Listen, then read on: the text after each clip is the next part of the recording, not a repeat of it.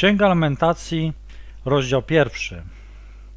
Ach, jak samotnie siedzi miasto niegdyś tak pełne ludzi. Stało się jak wdowa, niegdyś wielka wśród narodów i księżniczka wśród prowincji, teraz stała się podwładną. Nieustannie płacze w nocy, a na jej policzkach łzy.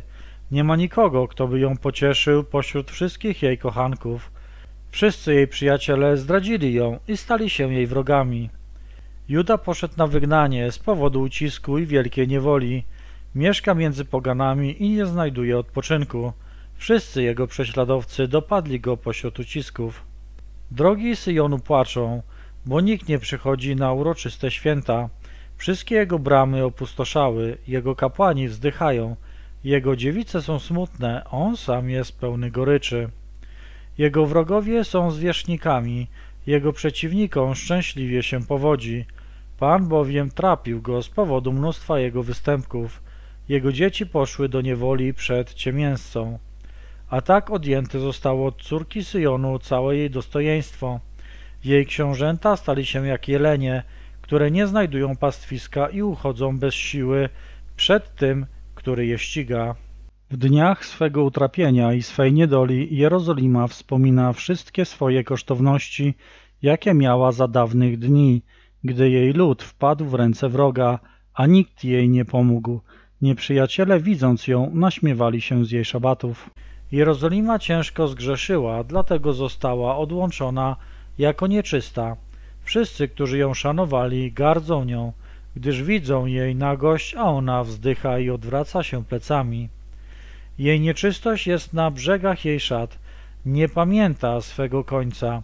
Dlatego wielce ją poniżono i nikt jej nie pociesza. Spójrz, panie, na moje utrapienie, bo wróg się wywyższył. Wróg wyciągnął swoją rękę po wszystkie jej kosztowności. Patrzy, jak poganie, którym zakazałeś wchodzić do Twego zgromadzenia, wchodzą do jej świątyni. Cały jej lud wzdycha i szuka chleba. Daje swoje kosztowności za pokarm, aby posilić duszę. Spójrz, panie, i zobacz, że zostałem znieważona. Czy nic was to nie obchodzi, wszyscy, którzy przechodzicie obok? Spójrzcie i zobaczcie, czy jest boleść podobna do mojej boleści, jaką mi zadano, którą dotknął mnie Pan w dniu swojego zapalczywego gniewu. Z wysoka zesłał ogień na moje kości, który je pokonał. Rozciągnął sieć na moje nogi i zawrócił mnie. Wydał mnie na spustoszenie i przez cały dzień omdlewam. Jarzmo moich nieprawości jest związane jego ręką, splotły się i weszły na moją szyję, a to poraziło moją siłę. Pan wydał mnie w ręce wrogów i nie mogę powstać. Pan podeptał wszystkich moich mocarzy, którzy są pośród mnie. Zwołał przeciwko mnie gromadę, aby zmiażdżyć moich młodzieńców. Pan, jak w tłoczni, podeptał dziewicę córkę Judy. Dlatego ja płaczę z oczu, z moich oczu ciekną wody, gdyż daleko jest ode mnie pocieszyciel, który by pokrzepił moją duszę. Moi synowie są wytraceni, bo wróg zwyciężył. Syjon wyciąga swoje ręce, nie ma nikogo, kto by go pocieszył. Pan pobudził dokoła Jakuba, jego wrogów. Jerozolima jest wśród nich jak kobieta oddalona z powodu jej nieczystości. Pan jest sprawiedliwy, bo zbuntowałam się przeciwko Jego słowu. Słuchajcie, proszę, wszyscy ludzie, i zobaczcie moje boleści. Moje dziewice i moi młodzieńcy poszli do niewoli. Wołałam do moich kochanków, lecz oni mnie zdradzili. Moi kapłani i starcy zginęli w mieście, kiedy szukali pokarmu dla siebie, aby posilić swoją duszę. Spójrz, panie, bo jestem utrapiona, moje wnętrzności drżą, moje serce przewraca się we mnie, gdyż uparcie się buntowałam. Na dworze miecz osieroca, a w domu nie ma nic oprócz śmierci. Słyszą, że wzdycham, ale nie ma nikogo, kto by mnie pocieszył. Wszyscy moi wrogowie słyszeli o moim nieszczęściu i cieszą się, że to uczyniłeś. Sprowadzasz dzień, który zapowiedziałeś, a staną się podobni do mnie. Niech cała ich niegodziwość przyjdzie przed Ciebie. Uczyń im tak, jak mnie uczyniłeś z powodu wszystkich moich przestępstw. Wiele bowiem jest moich westchnień, a moje serce mdlewa. Rozdział drugi. Jakże zaciemnił Pan córkę Syjonu chmurą w swoim gniewie, zrzucił z nieba na ziemię chwałę Izraela, a nie wspomniał na podnóżek swoich nóg w dniu swej zapalczywości. Pan pochłonął bez litości wszystkie domy Jakuba, zburzył w swej zapalczywości twierdzę córki Judy, rzucił je o ziemię i zhańbił królestwo i jego książąt. Odciął w zapalczywości swego gniewu cały róg Izraela, cofnął swoją prawicę od wroga i zapłonął przeciwko Jakubowi, jak ogień płonący, który pożera do szczętu wokoło. Naciągnął swój łuk jak wróg, postawił swoją prawicę jak przeciwnik i zabił wszystkich miłych dla oczu. W namiocie córki Syjonu wylał jak ogień swoją zapalczywość. Pan stał się jak wróg, pochłonął Izraela, pochłonął wszystkie jego pałace, zniszczył jego twierdzę i pomnożył płacz i lament u córki Judy. Oderwał siłą swój namiot, jak ogród, zniszczył swoje mieszkanie. Pan skazał na zapomnienie uroczyste święta i szabaty na Syjonie i w zapalczywości swego gniewu wzgardził królem i kapłanem.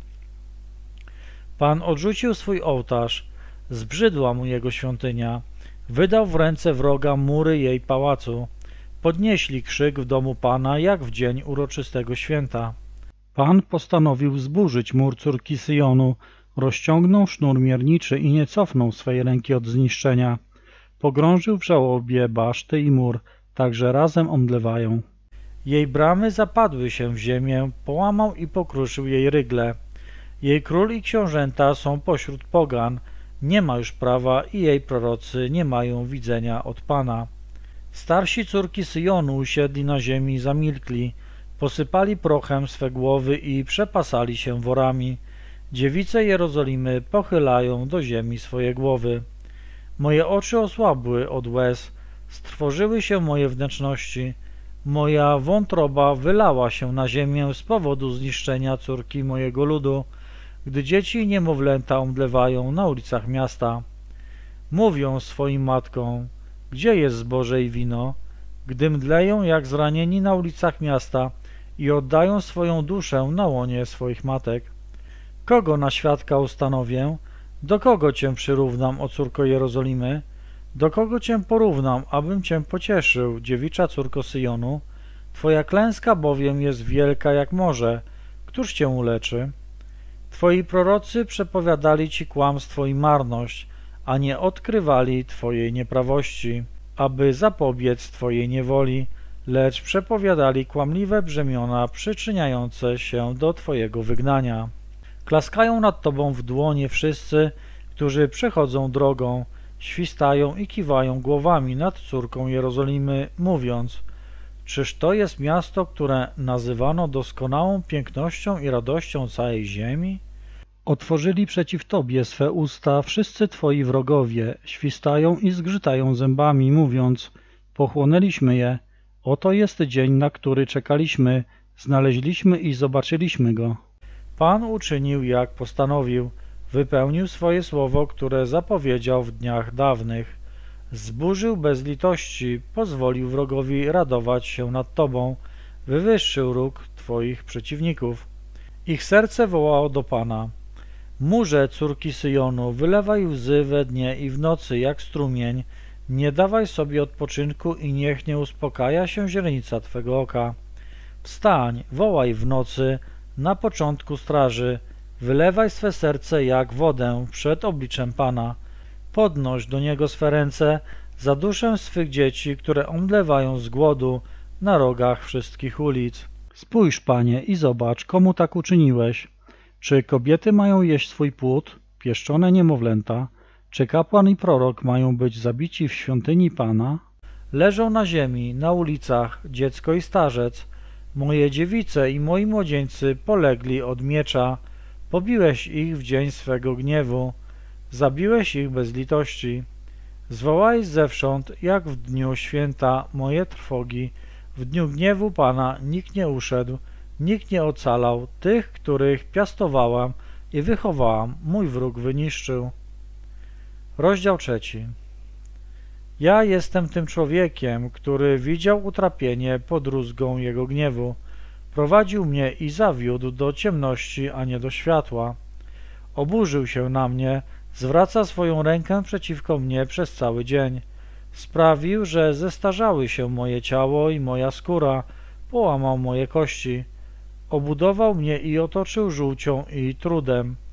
Posadził mnie w ciemnych miejscach, jak dawno umarłych. Ogrodził mnie, abym nie mógł wyjść, obciążył moje kajdany, a choć wołam i krzyczę, zatyka uszy na moją modlitwę. Zagrodził moją drogę kamieniem ciosanym, poplątał moje ścieżki, stał się dla mnie jak niedźwiedź czyhający na mnie, jak lew w ukryciu. Zmylił moje drogi, rozszarpał mnie i uczynił mnie spustoszonym. Napiął swój łuk i uczynił ze mnie cel dla swej strzały. Przebił moje nerki strzałami swego kołczana. Stałem się pośmiewiskiem dla całego mojego ludu, tematem jego pieśni przez cały dzień. Napełnił mnie goryczą, upoił mnie piołunem. Ponadto wykruszył żwirem moje zęby i pogrążył mnie w popiele. Oddaliłeś moją duszę od pokoju. Zapomniałem, co to pomyślność. I powiedziałem, zginęła moja siła i moja nadzieja, jaką pokładałem w Panu.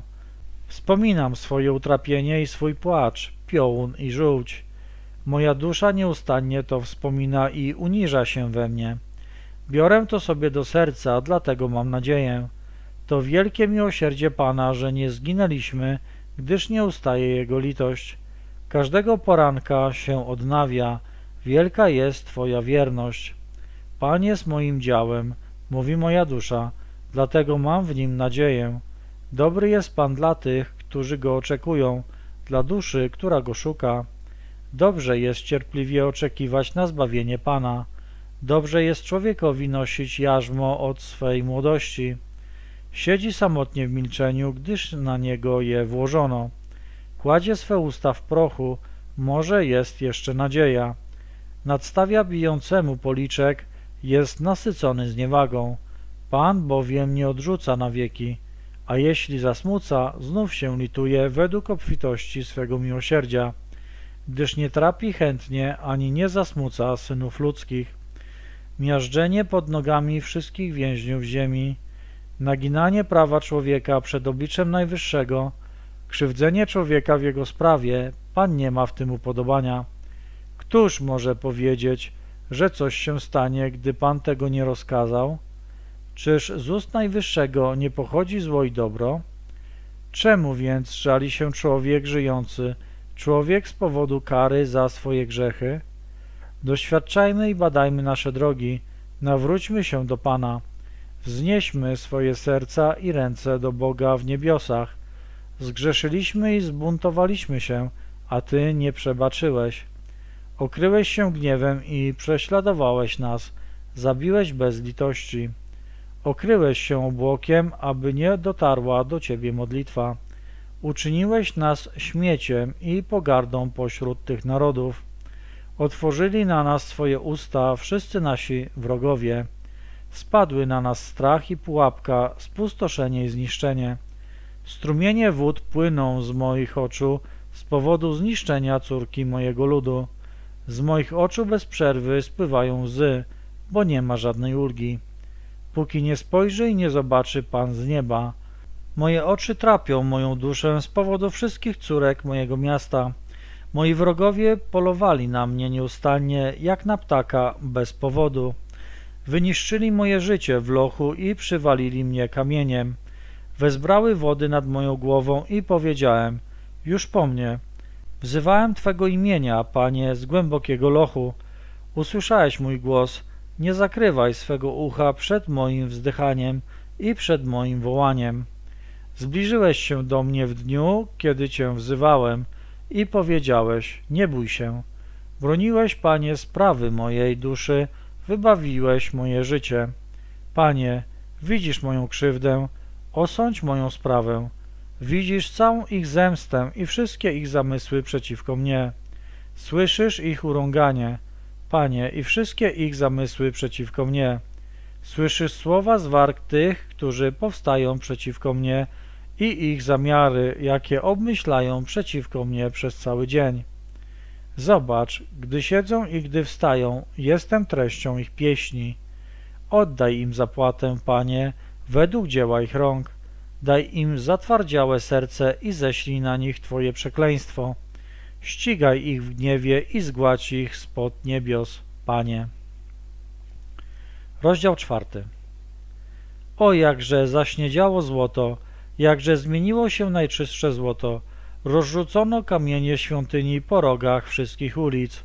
Szlachetni synowie Syjonu, cenieni jak czyste złoto, jakże są poczytywani za gliniane naczynia, za dzieło rąk garncarza. Nawet smoki dają pierś i karmią swoje młode, ale córka mojego ludu stała się okrutna jak strusie na pustyni. Język ssącego przylgnął do podniebienia z powodu pragnienia. Dzieci prosiły o chleb, lecz nikt im go nie ułamał. Ci, którzy jadali wyborne potrawy, giną na ulicach. Ci, którzy byli wychowani w szkarłacie, przytulają się do gnoju. Większa jest nieprawość córki mojego ludu niż grzech Sodomy, co została zniszczona w okamgnieniu, a nie dotknęła jej żadna ręka. Jej Nazirejczycy byli czystsi niż śnieg, bielsi niż mleko, ich ciała bardziej rumiane niż rubiny, byli wyciosani jak szafir. Ale teraz ich wygląd jest czarniejszy niż węgiel, nie poznaje się ich na ulicach, ich skóra przyschła do kości, wyschła i stała się jak drewno. Lepiej jest tym, którzy zostali pobici od miecza, niż tym, co umierają z głodu, gdyż oni giną, będąc przebici brakiem plonów pola. Ręce czułych kobiet gotowały własne dzieci, były ich pokarmem w czasie klęski córki mojego ludu.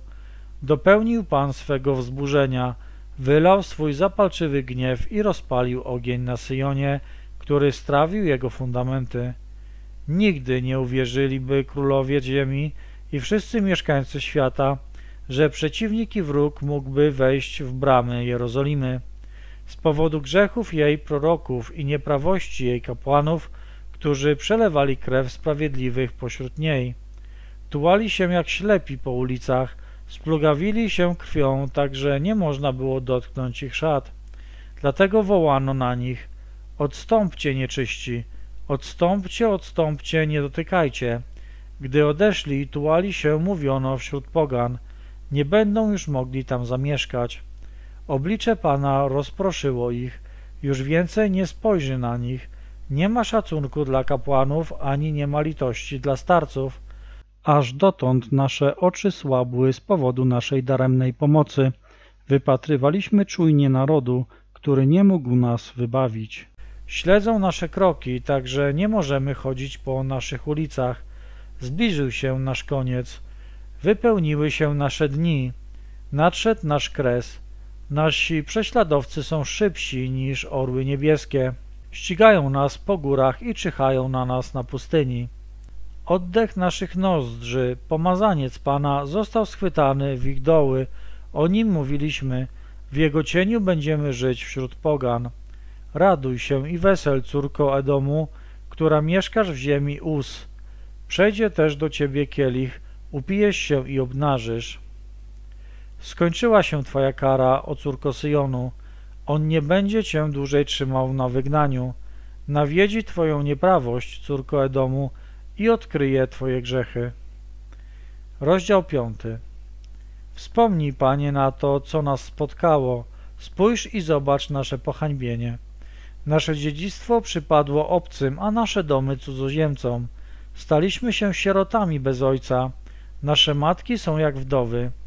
Własną wodę pijemy za pieniądze. Nasze drwa za pieniądze kupujemy. Prześladowanie ciąży na naszym karku. Pracujemy, a nie dają nam odpocząć. Podawaliśmy rękę Egipcjanom i Asyryjczykom, aby nasycić się chlebem. Nasi ojcowie zgrzeszyli, nie ma ich, a my nosimy ich nieprawość. Niewolnicy panują nad nami, nie ma nikogo, kto by nas wybawił z ich ręki. Z narażeniem życia szukamy swego chleba z powodu miecza na pustyni. Nasza skóra jak piec zaciemniła się od strasznego głodu. Kobiety na Syjonie hańbiono, a panny w miastach Judy. Książęta byli wieszani ich rękami, Oblicza starszych nie uszanowano. Młodzieńców wzięli do mucenia, dzieci padały pod ciężarem drewna. Starcy w bramach już nie siadają, młodzieńcy przestali śpiewać swoje pieśni. Radość zniknęła z naszych serc, nasze pląsanie zamieniło się w żałobę. Spadła korona z naszej głowy, biada nam, bo zgrzeszyliśmy. Dlatego nasze serce omdlewa, dlatego nasze oczy są zaćmione.